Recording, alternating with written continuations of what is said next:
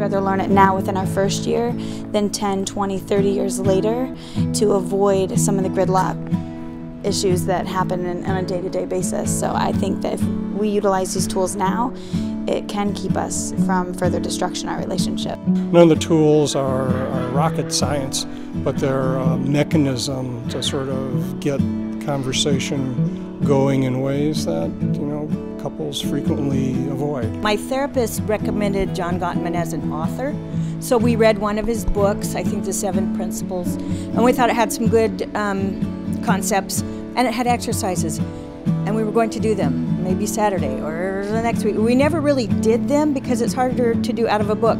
But when we came here, not only were the concepts um, familiar because we'd read the book, but the cards and the tools that they gave us made it easy to do. I think this workshop can work for anybody, no matter the age, no matter how long they've been together, dating, married. I think it's beneficial all around.